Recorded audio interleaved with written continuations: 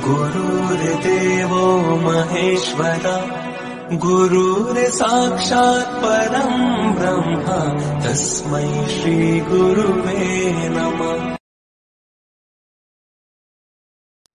मेरे सभी दोस्तों को मेरी तरफ़ से राधे राधे। दोस्तों, मैं सुधीर त्रिपाठी, पंडित जी अंक ज्योतिषाचार वास्तु गुरु जी यूट्यूब चैनल गुरु जी लाइव ट्वेंटी फोर में एक बार फिर आपका हार्दिक स्वागत करता हूँ। दोस्तों, आज का हमारा जो वीडियो है, वो शुक्र ग्रह के ऊपर है। शुक्र ग्रह एक विलासता का ग्रह माना गया धन, दौलत, गाड़ी, घोड़ा, जो भी विलासता से संबंधित चीज़ें हैं वो शुक्र ग्रह के अंतर्गत आती हैं। शुक्र ग्रह एक चमकदार ग्रह होता है। तो कहते हैं जो भी चमक धमक है, वो भी शुक्र ग्रह के अंतर्गत आती है। तो शुक्र ग्रह किसी का मान लो अगर अच्छा नहीं है तो निश्चित है कि हम उपायों के माध्यम से, दान के माध्यम से, रत्न के माध्यम से या और जो भी माध्यम है, उन माध्यम से शुक्र ग्रह को हम अच्छा भी कर सकते हैं आज इस वीडियो के माध्यम से हम ये आपको संपूर्ण जानकारी देंगे। शुक्र ग्रह किसका होता है जिसका मूलांक छः है छः मूलांक किसका है जिसकी डेट ऑफ़ बर्थ छः तारीख है, पंद्रह तारीख है और चौबीस तारीख है। पंद्रह को हम देखें तो एक और पाँच छः हो जाता है चौबीस को भी देखेंगे, दो और चार छः हो जाता है। और छः अपने आप में छः का अंक है ही। तो इन डेट ऑफ़ बर्थ के लोगों का मूलांक क्या हुआ? छः तो जिनका मूलांक छः है तो उनका मुख्य ग्रह क्या हुआ? शुक्र। अब जिनका मूलांक छः है, यानी मुख्य ग्रह शुक्र है तो ऐसा नहीं है कि वो बहुत पैसे वाले होंगे। नहीं होंगे। लेकिन मैं इतना ज़रूर कह सकता हूँ कि ऐसे लोग अगर कुछ कार्य करने जा रहे हैं किसी परेशानी में तो पैसा इनके पास किसी न किसी रूप में कहीं ना कहीं से आ जाता है इनका काम चल जाता है काम नहीं रुकता है धन संचय होना अलग चीज़ होती हैगी और पैसा आना अलग चीज़ होती हैगी।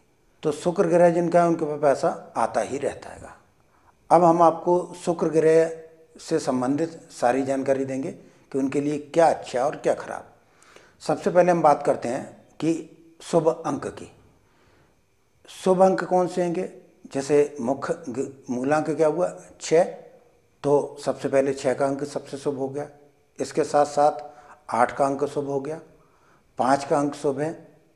चार का अंक शुभ है और दो का अंक शुभ है। अशुभ अंक की बात करें तो तीन का अंक। तीन का अंक इनके लिए अशुभ अंक होता है। दिन की बात करें तो फिर भाई सोमवार, बुधवार, शुक्रवार और शनिवार, ये इनके लिए शुभ दिन हो गए। अशुभ दिन की बात करें तो तीन का अंक था तो गुरुवार। तो अगर किसी भी शुभ काम पे जा रहे हैं तो दिन देख लीजिए, गुरुवार का ना हो इनमें से जो शुभ दिन होंगे, इसमें से किसी भी दिन जा सकते हैं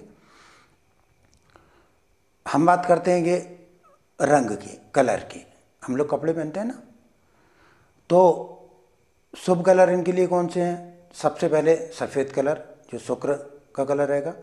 गुलाबी कलर, चमकीला कलर।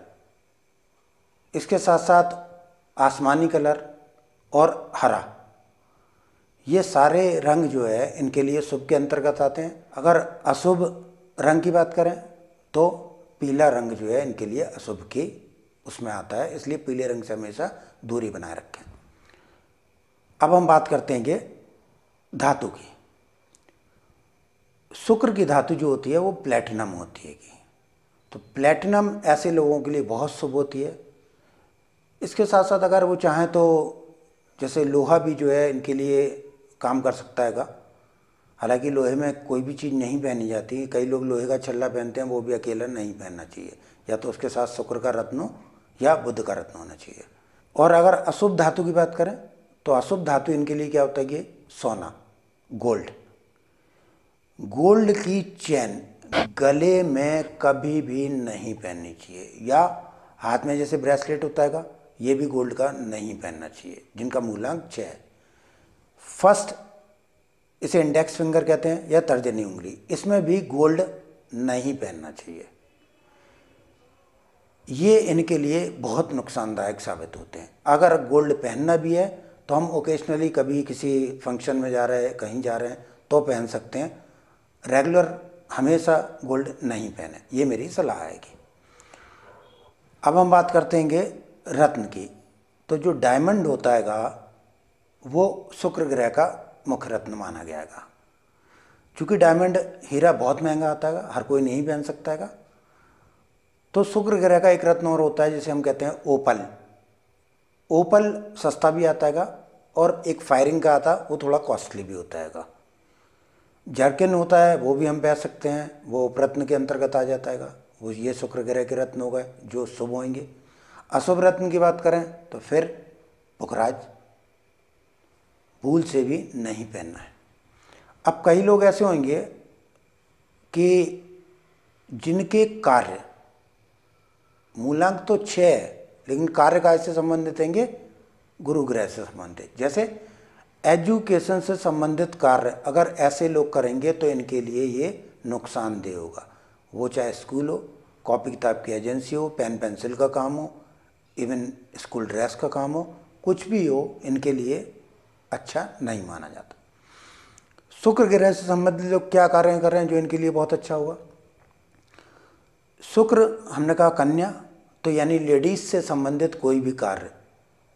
साड़ी का काम, सूट का काम हो सकता है, कपड़ों का काम हो सकता है, कॉस्मेटिक से संबंधित काम हो सकता है, परफ्यूम का काम हो सकता है।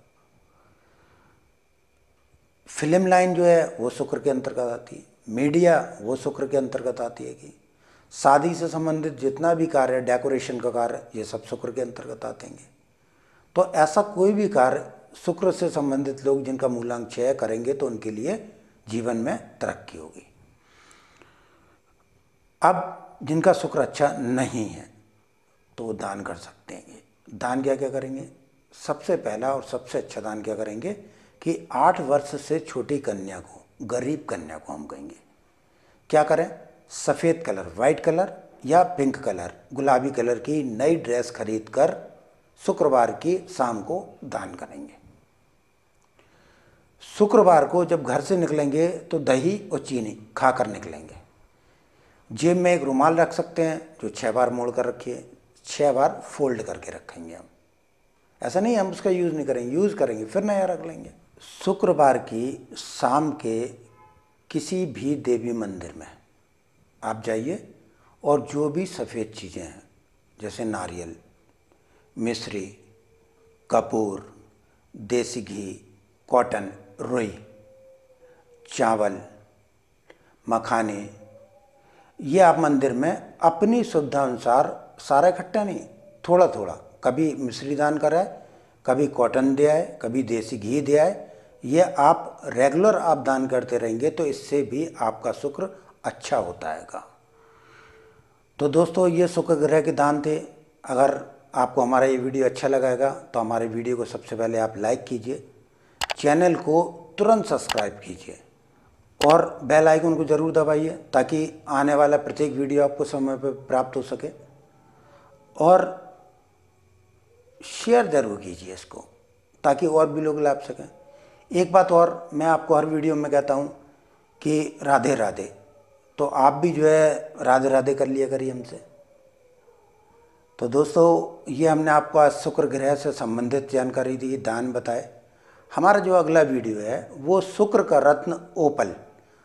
ओपल के बारे में हम आपको संपूर्ण जानकारी देंगे कि किसको पहनना चाहिए और किसको नहीं पहनना चाहिए। तब तक आप हमारे संग बने रहिए। राधे राधे जय हिंद।